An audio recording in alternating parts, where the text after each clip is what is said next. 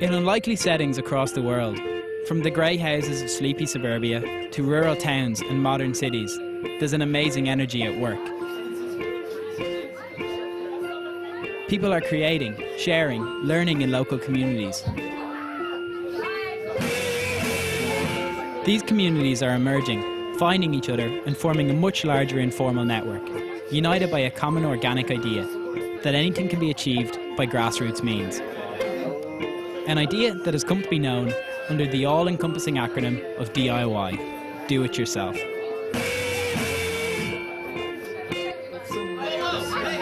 One of these suburban settings is the Hideaway House in Dean's Grange, about 20 minutes from Dublin city centre. It's also my home. Since 2006, it's been a focal point for our community and what we are doing ourselves.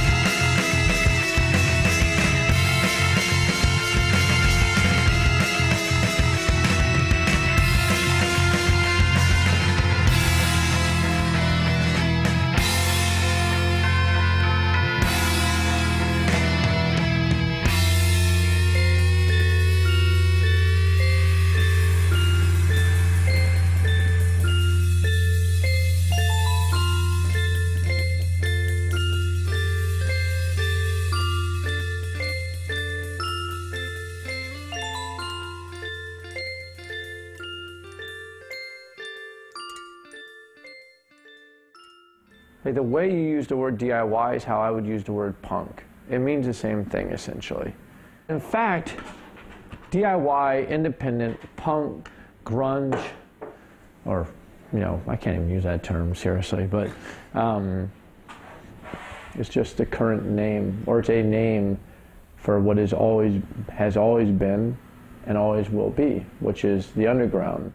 It's the way that you do things if you want to get things done because once you realize that no one else is actually going to like make things happen for you and that if you want to like make changes that you have to kind of basically do it yourself. People out there in the world have things that they want to communicate media and we're in a period where now people make their own media. They don't wait and find a professional to do it for them. For us, anyway, all our friends were just going to discos and like going out and drinking all the time. And DIY community, like the gigs were something that we could go to where it was just an alternative. It is an area in which people, largely young people, can figure out who they are and what they're doing. At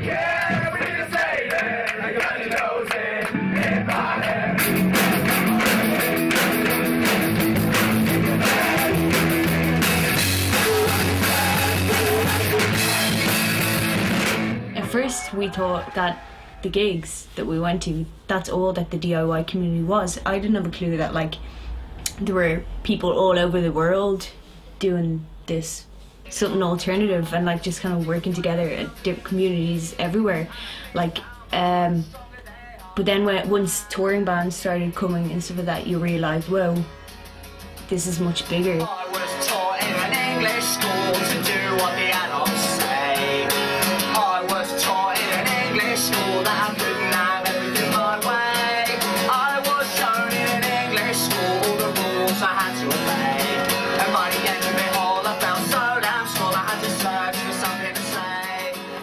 That's the thing about music. It's like it invites you in. And then if you decide to follow the thread, you learn there's like this incredible world out there. It's not just what has been presented to you on your street, in your house, in your school.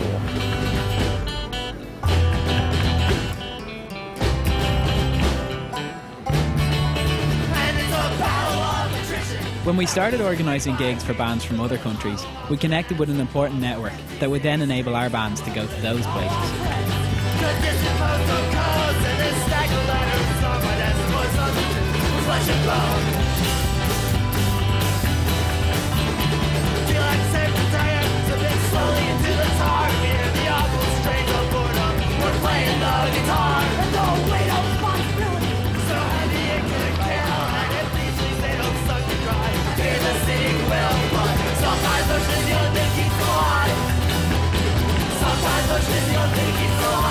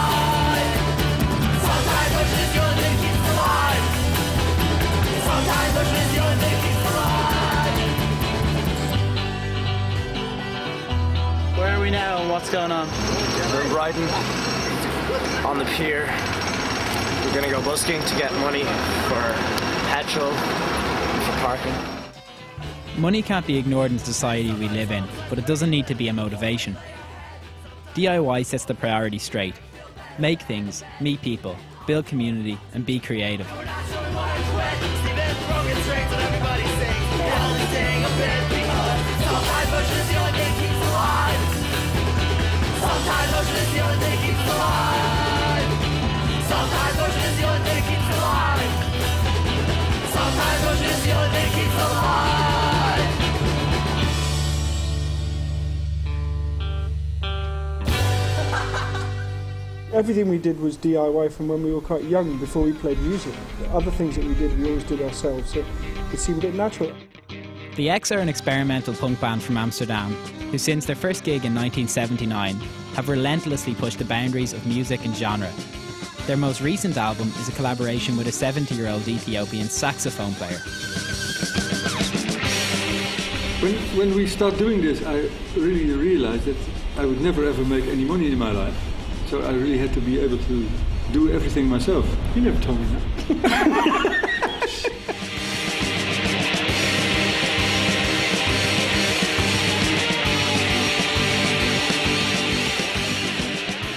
I think there's a huge movement, yes, to create alternative systems so that people could make more and more on the on their own.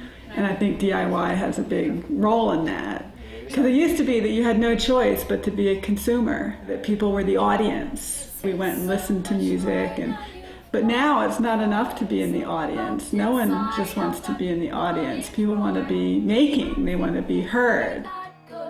You don't have to rely on other big like businesses and corporations to do what you want to create to create music and get and show your music to other people you can work, do it on your own with help with, from your friends and stuff like that You're lying, you're lying, you're lying, you're lying, you're lying, you're lying. Those keys you have, those keys are mine. You are, you are, you are, you. Those keys you have inside your phone, those keys you have, those keys are mine. The whole point of DIY is giving the tools to the people that have something to say. It's really revolutionized things in the last five or six years. Is that not only do we have the tools for making these things, but we also have the tools for getting them out there into the world. And what's happening now is that young artists are selling directly to the audience that's interested in them and making those connections directly instead of through the gatekeepers, through the big corporate system. By subverting the mainstream markets and systems, DIY is often seen as being anti capitalist, anti establishment. This may be true to a point, but it's more for doing things our way than against something else. If I thought anything, I thought, I just want to make a record. I just want to make a record. I'm going to make the record. And with play, in terms of shows, like, I just want to play shows. Like, I wasn't trying to bring down the corporations. I was trying to create our own economy, our own world, our own industry. DIY to me is really about control. And so it's more than just utilitarian. It really is um, a way of thinking about the world where you get to control what's going to happen. It's not a kind of manifesto that DIY is the only way and That's it's it's the way that we've chosen because it's also good for us. Know that you've made the decisions that have resulted in the things that you do in your life. It broadened my mind anyway. Yeah, me too. To knowing what you're doing, knowing that like you're sure of what you're doing, or like you're comfortable with what you're doing. I think there's more engagement with um, maybe more kind of sophisticated politics and you know less of a kind of two-dimensional kind of political scope to being like punk rock or being involved in the DIY scene or something. And that's very hopeful. Yeah, it's kind of quite inspiring to see so many people who are so young but have got like a really sophisticated analysis of, of like what's going on with the world and have a real passion for engaging with that and coming up with like creative ways to change it. Any community needs a focal point. When ours was first coming together a few years ago, we found a disused hall in Greystones, County Wicklow. We took over this building and gave it a new life, with all ages gigs, film showings, and new projects. When this was closed to us, and subsequently turned into apartments, we had to take direct action, creating our own temporary social spaces in locations such as this derelict tea room on Killiney Beach in the suburbs of Dublin. I think social centres are really important. It's like, you know, you've got a city like Dublin that's like so commercial or, you know, that you can actually like rip a little hole in that and give people a chance to breathe, you know, just to live a bit differently where you just, everything isn't like a commercial transaction. Formed in 2004, Seomra Spraoi is a loose collective of people passionate about giving alternative communities a safe, free space in Dublin and providing a public forum for their ideas. This is a space where you can do stuff for free, where like, you know, there's stuff for kids, there's stuff for like anybody can walk in. Seomra Spraoi is used by such a diverse range of groups, you know, from like kind of like arts groups to, you know, revolutionary anarchist groups. I'll tell you a story from Africa. First of all, thanks for coming out, a few of you who are here. Um, all the money that we raised today is going to start the bicycle co-op here at Seomra Spraoi. It's a way of engaging or helping people to think. I just creating some breathing space. In Ireland, we don't really have so much of that culture. You know, we have like pubs, and pubs are like a really big thing here. But like, it's really hard to move beyond that kind of pub culture. But actually, the city's kind of really changing, and there's so many people from Italy and from Poland, from Czech and from Spain, cultures where there are like non-commercial um, social spaces. Each city has its own particular needs from a social space, and interpretations can vary across different cultures. Touring is one way of witnessing the colourful diversity of these spaces and the important roles they can play. Thanks, thanks for coming in to watch us. In case you didn't hear it, we're Ghost Mice. We're from Bloomington, Indiana, and Gainesville, Florida now. I'm Chris, this is Hannah. We're happy to be here. It's our first day in your country, and we're leaving tomorrow. But we'll be back later. We must turn into monsters in the moonlight the summer of 2007, Ghost Mice visited the Hideaway, the first date of an extensive European tour. I was to be their driver for this epic road trip, a 12,000 mile journey across 13 countries. It would take us to a vast range of the kind of social spaces Darren from Seomra Spraoi had mentioned.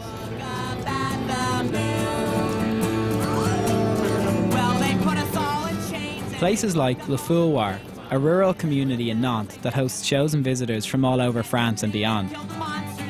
Plus the odd American folk punk band, complete with Irish driver. There is something in our hearts that can't be tamed. It will break free one day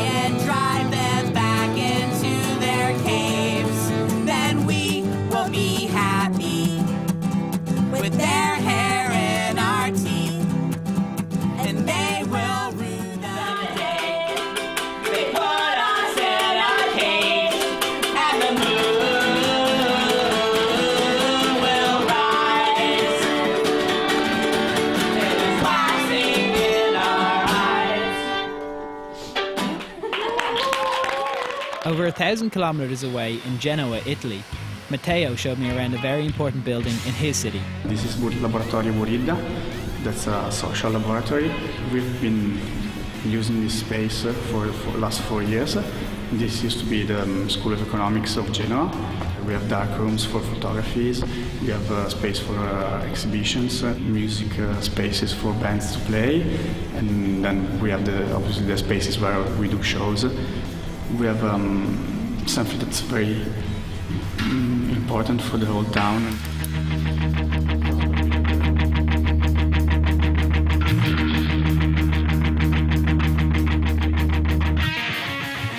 So we have like a particular need for social space, so focus it on uh, having people meet uh, and uh, start projects together.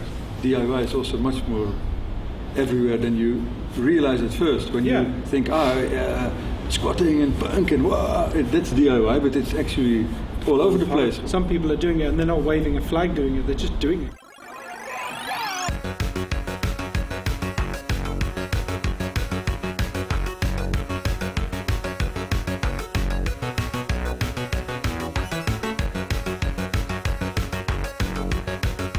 It, it just like naturally developed from all other things, I guess. You know, like starting the label and like playing in bands, booking on tours, and it just uh, like the kind of like progression of it. We were thinking about a vegan fast food place, like you know, like because there's like nothing like this like in Cologne, and uh, uh, at the same time, we want to continue doing records. And eventually, it just like developed to into to connecting everything People make kind of the middle ground between truly doing every component themselves and doing part of it themselves, but hooking into systems out there like digital printing and online distribution and all kinds of things that, well, is that really DIY? It, it does depend on an establishment and a set of processes that you can hook into. If you really want to go off the grid Yeah. and cut your ties to society and truly go underground, there's a lot less you can do. One aspect of the infrastructure that everyone must hook into if social spaces are to exist is the political one. Cities and governments take different views across Europe on the use of buildings as focal points for communities. It's neither a squat nor um, an official governance city building or something like this. Just wave and smile. We looked for rooms to uh, live the way we want to live and to, to, to live culture, in our opinion, what we think culture is all about. And this was empty, the building, for nearly 20 years. We asked the city, do you have rooms for us? And they said, no, there are no rooms. Then we squatted it for one day to prove there's a room. Then it took us six years on court. And in 1999, we finally signed a contract. As the building belongs to the city, but we have the right to use it the way we want to for 30 years without paying anything. And after signing the contract, it took us another six and a half years to reconstruct the whole building. In recent years, however, European city councils have been clamping down on the non commercial use of what they increasingly see as their commercial assets. Compared to the rest of Europe, Dublin hasn't had much history of squatting culture, and this property obsessed city was always going to struggle with accommodating something as radical as Seomra Spraoi. The building that we were renting for the last six months just got shut down by the fire department. In Ireland, politically, the system isn't set up to encourage people, you know, to start a project like Seomra Spraoi. It's it's just set up to make it really boring and really bureaucratic, and um, need to have a lot of money to just do anything at all in this city or this country. The worst cities always had the, the best subculture. I mean, in the 80s we played uh, like Switzerland, which was completely repressed the whole culture. But the squad scene and, and the, the people who did something was so strong, and that that will always be the case. But you, I, I really believe that.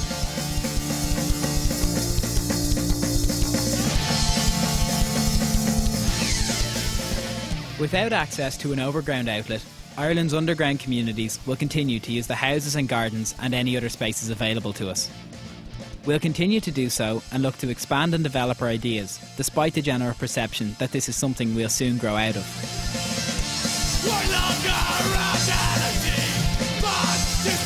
We're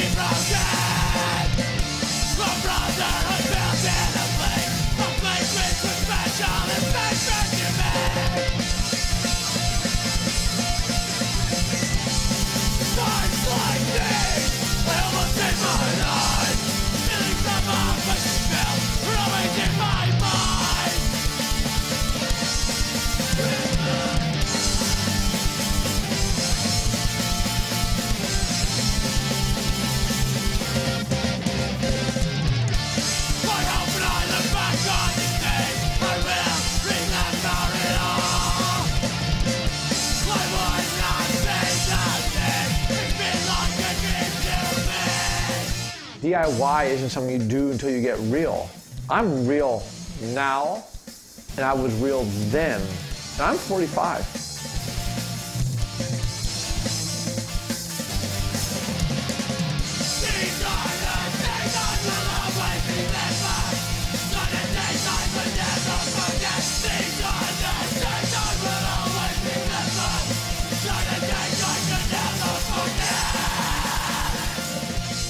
America, there's certainly this very deep psychological pressure to get real. Like, okay, we'll do your band thing now, but at some point you have to get real.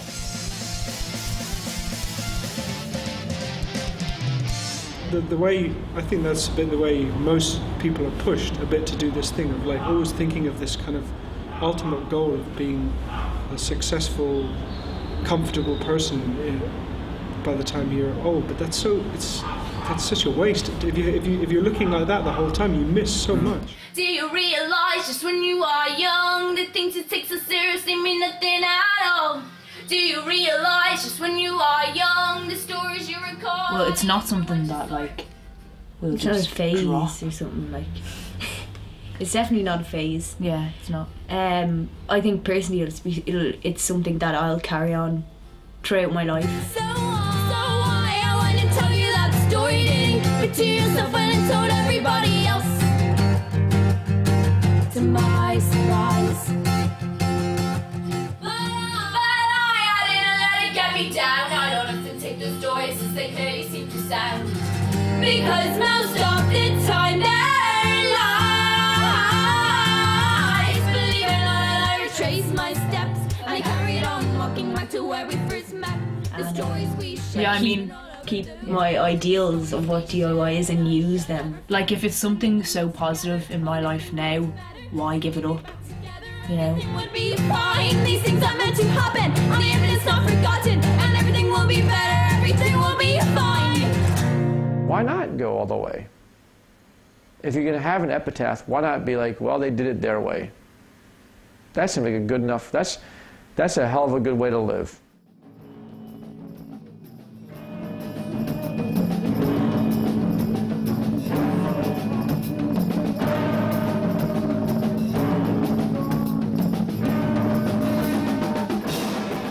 Improvising. I mean, we we had, had this hookup with the improvised music scene, but it, it's also always great to have that, this idea of improvising in your life that you don't uh, rely on definitions the whole time, but that, you- that you're always strong enough to improvise and to also take risk and to be stupid, and then but then then always get out of that and, and make something strong. In terms of DIY or any of those things, they're kind of like being open-minded. That kind of thing really is a lifelong exercise. It's actually a principle that can be applied to whatever you're doing. Oh, I think DIY is infinite. I mean, I think it has a lot to do with people wanting to, you know, live more locally. I think that's a big DIY thing. The whole green and sustainability that relates to DIY and taking control of your own consumption and output and so forth. It's it's much bigger than just the arts, and it's a kind of approach. Um, whether or not you kind of articulate that and kind of like, you know, try to set it aside as like a philosophy or something, or just like a kind of way of do- of doing things. I think it's like always there. So it's way beyond art. I think DIY is changing just about every corner of life. I believe in you that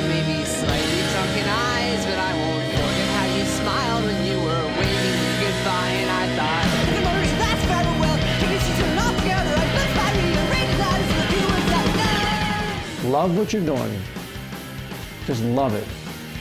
Because at some point, if you don't reach a point that fits your idea of success, you will have at least spent your time doing something that you loved.